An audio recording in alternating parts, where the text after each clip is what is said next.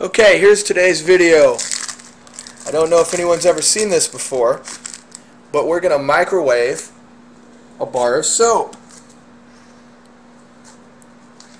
If you are dumb enough to decide to microwave a bar of soap, two things. I would suggest you don't need to use your microwave for, oh, three or four hours. And I would suggest that you use ivory soap.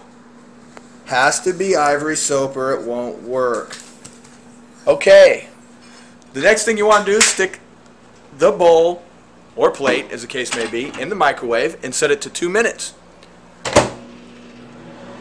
Then just sit back and enjoy the soapy goodness.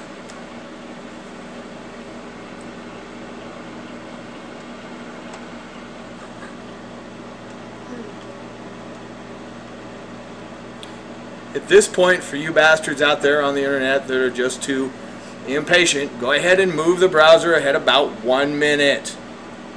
Because it does take two minutes. I know that's a lot to ask from, you know, whoever. Holy shit, look at that.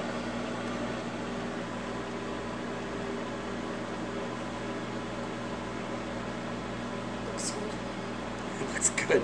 Yeah, the best part of this is if you can find somebody dumb enough later, you can serve it to them as ice cream.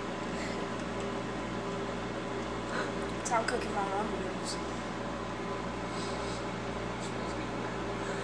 It does smell kind of, I don't know, soapy. Looks like Oh. mashed potatoes. Shaving cream. Cool. Wow. That's impressive. I wouldn't like to put that on my body. Yeah, I'm not making that video.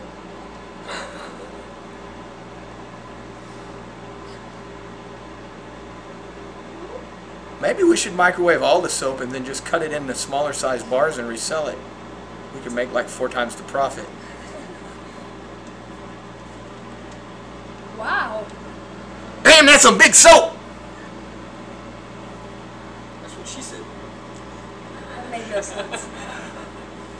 I could say something, but I won't. Let's go smear on the side. That's what she said. Oh, Holy crap, it's like a souffle. Turn the light on. it's like the most. I gotta touch this. That's what she said. Oh wow, dude. Hold on. Looks like a pie now. Check this shit out. Oh, This is what happens to it. It's like, ooh, hot. It's fluffy. Dude, you know you want to touch it. You want to come touch the soap? I know you didn't hear that often in your life, but it's ropey. it. It's ropey. No. You can make like a snowball out of this and smack a dude in the head. Let's see.